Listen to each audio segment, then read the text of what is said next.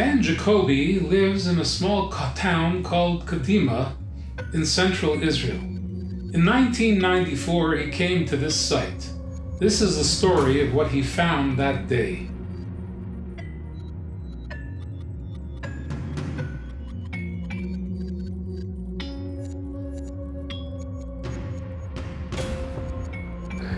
בשלישי למרץ 1994 קיבלנו ידיעה מחבר שלנו שהוא טייס אולטרלייט חובב, שהוא הסתובב כאן באזור, באזור וראה עיגול נחיתה.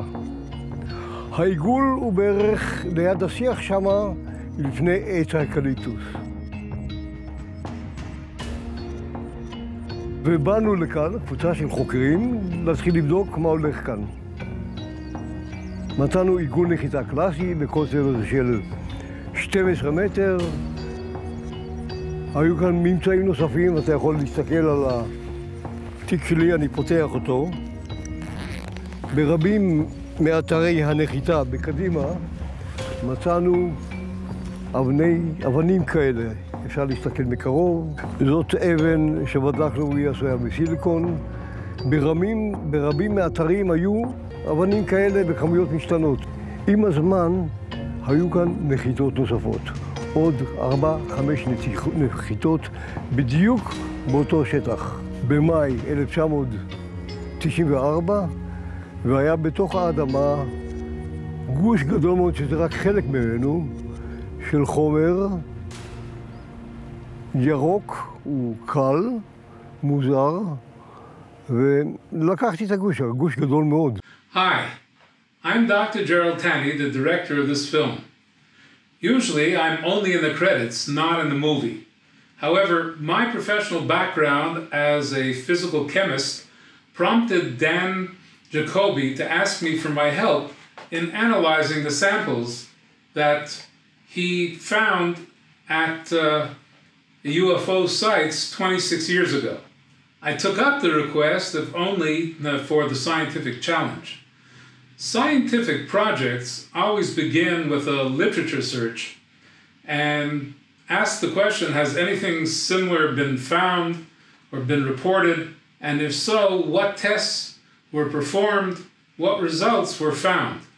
Now, in this case, about a year prior to Dan finding his samples, a similar finding was reported in the Negev desert.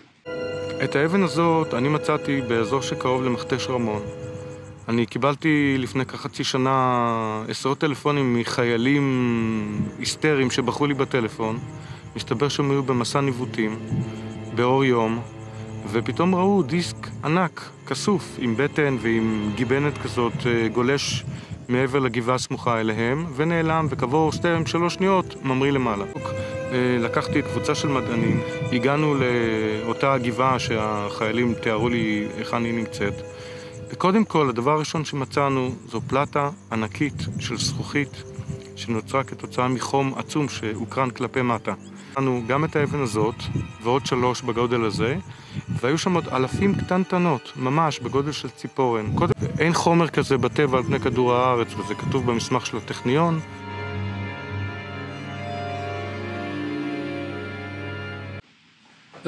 Found by David Ronen was based on pure silicon. Dan also claimed that the analysis on his rock was uh, performed by a geology lab and came back as pure silicon. So here we have two very similar reports of pure silicon rocks by different people at two, landing, at two UFO landing uh, locations hundreds of kilometers distant from one another. In the form of silicon dioxide or silicate salts, silicon is amongst the most common elements in nature. However, as the purest element, Si, it's only been known for about 200 years, since Berzelius discovered a process to convert sand into what is known as metallurgical grade silicon, which is about 90%, 98% pure. Now, samples of metallurgical grade silicon are sold on the internet and look exactly like the rocks that were found at these sites. Sites selling UFO site rocks prove their special connection to UFOs by showing the fast rate at which ice will melt on the rock. However, this effect is related to the very high thermal conductivity of silicon, and any chunk of metallurgical grade silicon will show the same effect, as we see here.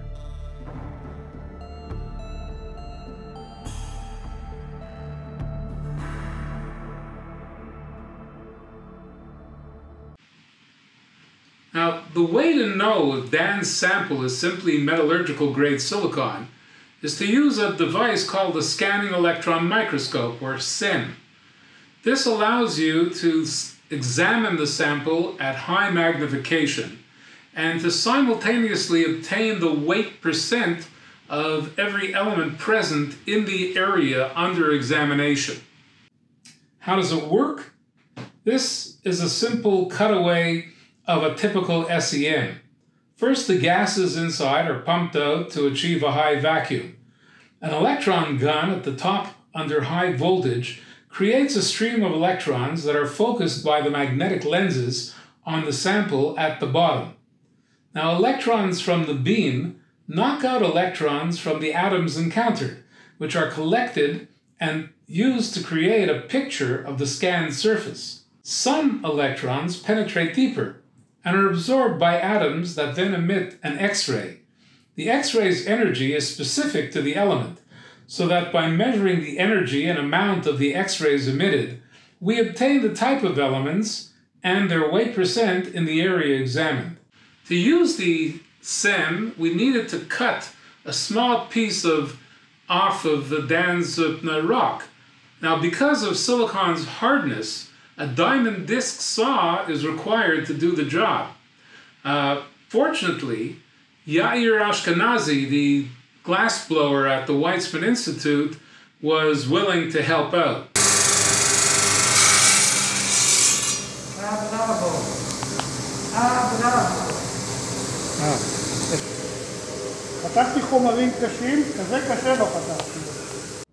The next step was to order two hours of SEM time with Dr. Einat Zelinger at the Center for Scientific Imaging in the Faculty of Agriculture of the Hebrew University in Rehovot. Einat attaches the sample to the base with conductive tape, and we are ready to go to the scanning electron microscope.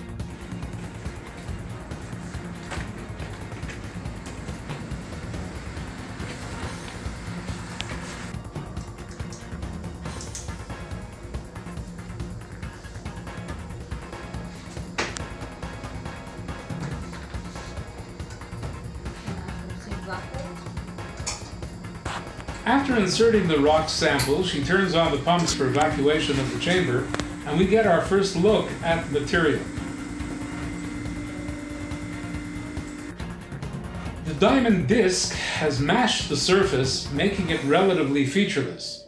The white line in the box on the bottom shows the length of 0.05 centimeters in the picture. We find a hole in the surface with a crystal in its depth.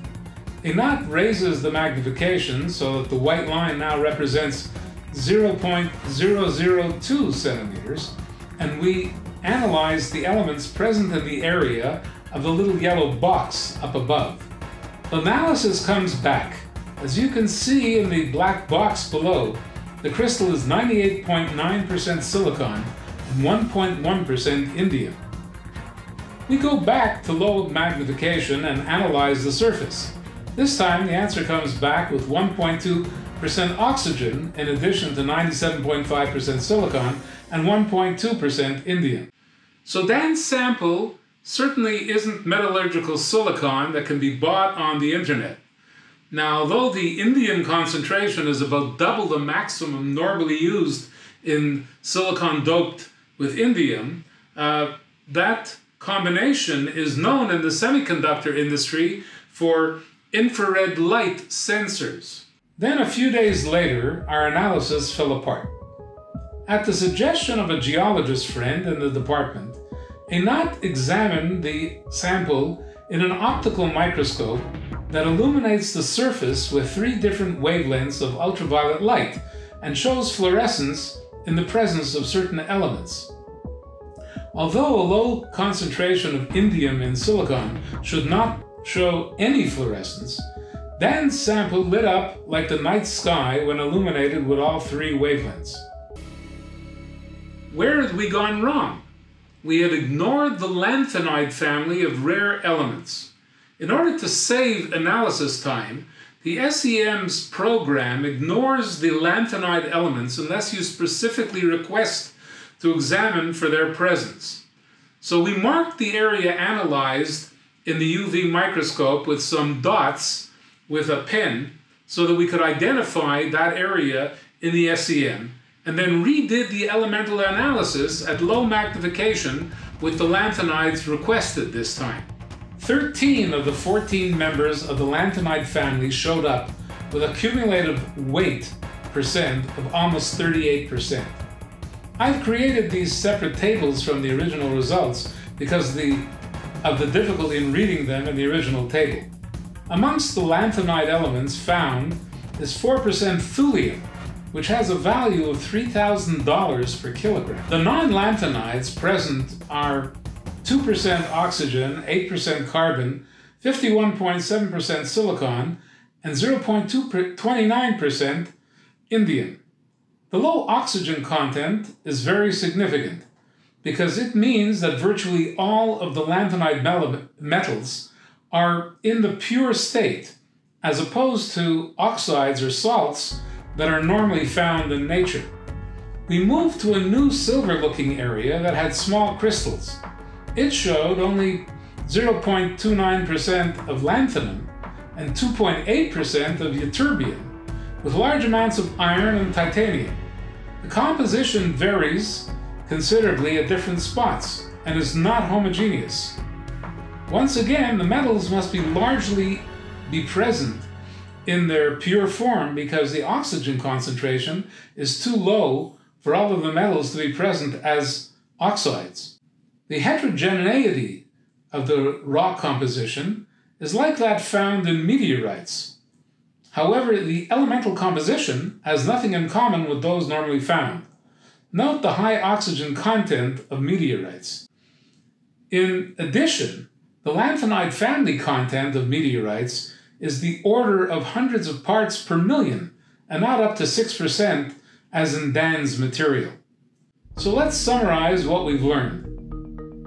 Dan's rock is definitely not metallurgical silicon, and the number and concentration of pure lanthanide elements present is unlike any known industrial material. The elements are heterogeneously distributed changing from place to place, both in elemental composition and in the weight percent of the elements found. Then, the rock is not a meteorite. Although it is heterogeneous, it has far too little oxygen, and the concentration of the lanthanide elements is about 100 times that ever found in meteorites. So, while we can't prove a connection to UFOs, no conventional explanation has been found to rationalize all of the observed facts. Additional analyses of similar finds at other sites could strengthen the connection to UFOs. Our work on the samples continues, especially on the plastic material, which has only just begun. As we generate results, I will create additional films to bring them to you. Anyone wishing to help this project can do so in several ways. First, more samples of finds from UFO sites are needed.